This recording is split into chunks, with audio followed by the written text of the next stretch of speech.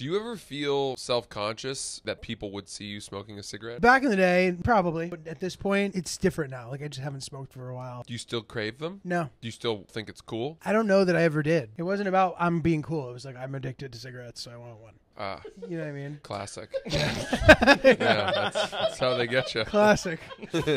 like the most classic.